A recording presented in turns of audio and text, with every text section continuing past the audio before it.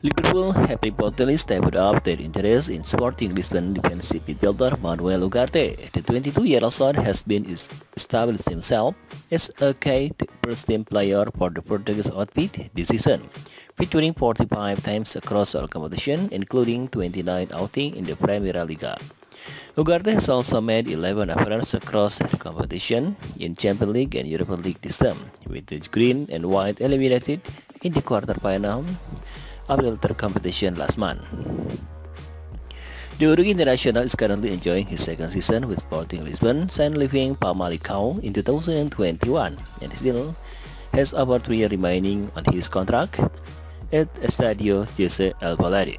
However, speculation Speculation surrounding the midfielder future has grown in recent months, with a number of top European clubs believes to be keeping tabs on his progress.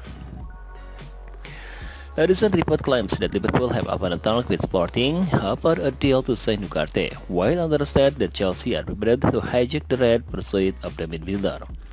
Tottenham Hotspur have also been credited with in interest, but according to Portuguese outlet Record, via Liverpool Echo, Liverpool have stepped up their interest in Ugarte and are preparing to make an opening over a heat of the summer transfer window.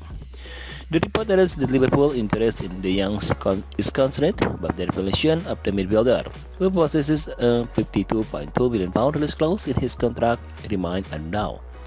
Ugarte, Ugarte agent George Chijane recently revealed that the 8 Cup interna Uruguay international is almost certain to leave Sporting this summer and claim he will use super agent Jose Mendes to help facilitate a transfer. Speaking of O Jogo, Chijane signed, it is almost certain that he won't stay. It is soon he will leave. I will be in Lisbon soon. I trust Jose Mendes, who is the best businessman in the world.